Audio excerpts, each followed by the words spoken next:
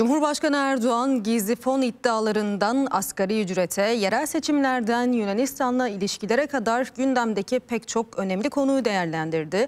Fon vurgunuyla ilgili soruşturmanın sürdüğünü söyleyen Erdoğan, kısa zamanda neticeleri alacağız dedi. Asgari ücretle ilgili ise yılda bir kez zam mesajı veren Cumhurbaşkanı, bir kez verilecek zamla bu iş biter, biz vatandaşımızı bugüne kadar enflasyona ezdirmedik diye konuştu. Cumhurbaşkanı Erdoğan Birleşik Arap Emirlikleri dönüşünde önemli açıklamalarda bulundu. Gündemdeki pek çok konuyu değerlendirdi.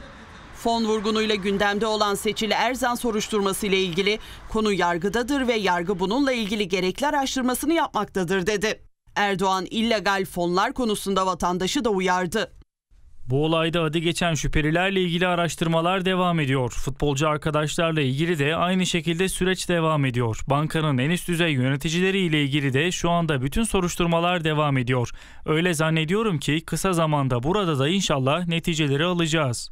Erdoğan'ın gündeminde yerel seçimler de vardı. Muhalefet cephesindeki işbirliği girişimlerini değerlendirdi. Onların atacağı hiçbir adım bizi etkilemez dedi.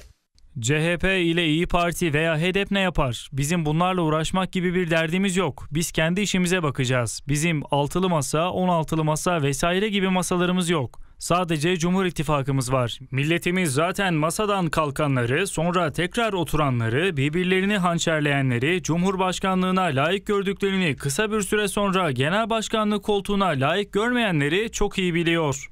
Cumhurbaşkanı Erdoğan'a yaklaşan asgari ücret görüşmeleri de soruldu. Çalışanların enflasyona ezdirilmeyeceğini vurgulayan Erdoğan, asgari ücrete tek zam mesajı verdi.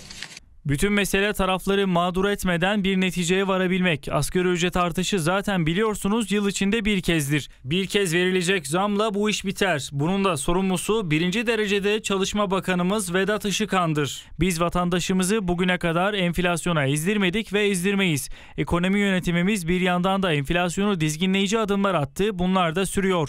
İşaretler olumlu. Yakında enflasyonun kalıcı bir şekilde dizginleneceğini göreceğiz. Enflasyon sorununu da tarih tarihe karıştıracağız. Ve Yunanistan'la ilişkiler temennimiz odur ki yeni bir dönem başlamış olsun diyen Erdoğan üçüncü ülkelere tepkiliydi. Başta Amerika Birleşik Devletleri olmak üzere birileri bizi birbirimize düşürmenin gayreti içerisinde. Parasını ödediğimiz halde bize F-16'larımız verilmezken Yunanistan'a hala F-16'ları gönderiyor, mühimmatını gönderiyor. Amerika böyle yapıyor diye bizim de herhalde geri çekilecek bir halimiz yok. Yanı başımızdaki komşumuza ziyaretimizi yaparız, otururuz, konuşuruz. Eğer birbirimizin çıkarlarına zarar verecek tutumlar içerisine girmiyorsak mesele yok. Bizim dış politika anlayışımız hep ben kazanayım karşıdaki kaybetsin değildir. Biz kazan kazan anlayışıyla Atina'ya gideceğiz.